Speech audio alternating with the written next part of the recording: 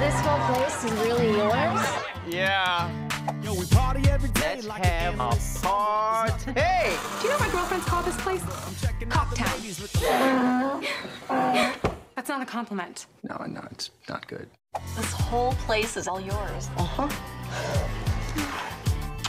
That's probably enough, I think.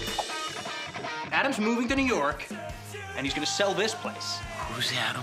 Adam owns this house. How long have you lived here? Three years. Good morning. I'm Carolyn Roberts. I'm his real estate agent.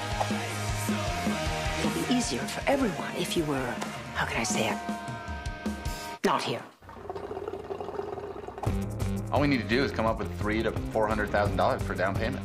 Check it out. I got thirty-five hundred for the spaceman. Dude, am I the only one who thinks this is stealing? Why do you always see the negative? Do I even want to know what Dave Foley is doing on the couch? No. Okay. Listen, I'm from uh, Ramrod Entertainment. I'd like to make a movie in this place.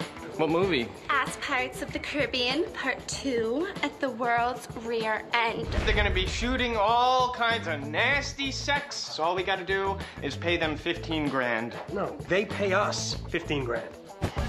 Whoa, hey, whoa. If you can't buy this place, just make sure it never sells.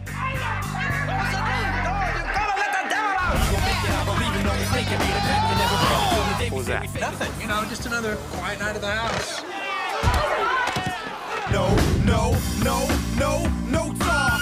No limit, gonna take it so far. So if you believe in the underdog, Wardrobe, let's get her some crotchless panties now.